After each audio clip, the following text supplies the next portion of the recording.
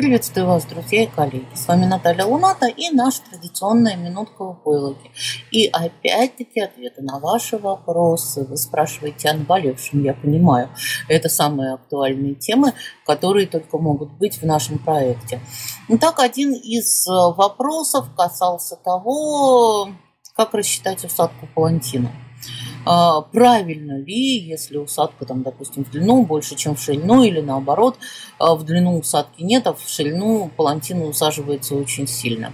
Ну, вот такой вот момент, когда в одном из направлений нет усадки, а, абсолютно понятно, почему он происходит. Это полностью зависит от направления раскладки.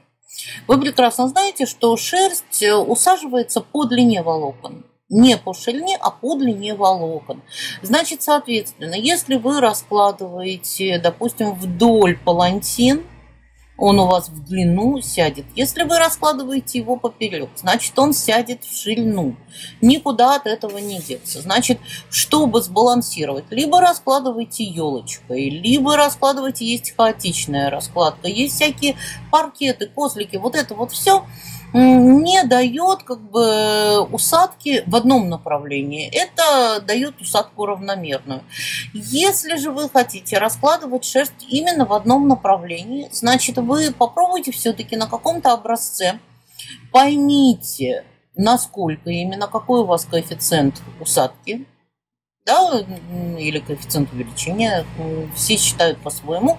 И исходя из этого выбирайте размер раскладки. То есть смотрите, что вам уже необходимо. То есть вот тут дать вам рекомендацию, вот надо так, раскладывайте. Если вы будете раскладывать ортогональной раскладкой, то есть два тонких слоя, один поперечный, один горизонтальный, один вертикальный, у вас раскладка будет равномерная в две стороны, скорее всего.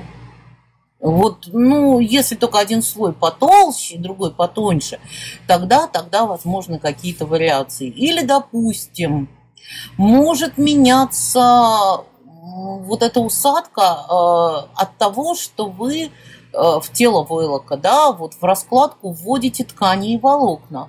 Вот это тоже на раскладку может повлиять. Опять-таки, сдать заочно рекомендации. Вот столько вы разложите, если вы что-то там добавили, ну, на войлок кусочек шелка или кусочек батиста, или вот если вы добавили каких-то волокон, заочно, не видя то, чем вы декорируете ваш шелк, я вам сказать точно не могу. Но вы для себя ведите дневник наблюдения. У меня есть толстая тетрадь, мой талмуд, в которой я записываю все вот важные интересные моменты. А, последнее время записи там появляются, как только вот я обнаружила для себя какой-то новый эффект.